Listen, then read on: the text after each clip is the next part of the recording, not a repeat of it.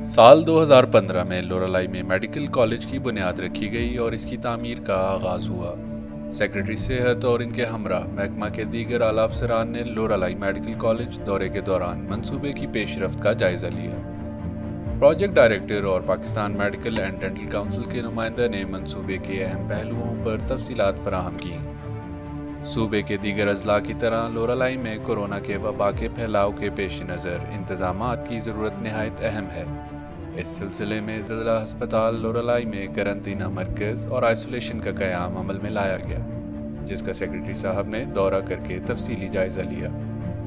TV programme की मौजूदा laboratory को कोरोना के टेस्ट के हिफाजती मैार के मुताबिक अपग्रेड करके ज़िला में कोरोना की टेस्टिंग का इंतज़ाम करने के लिए लाहे अमल भी तय किया गया।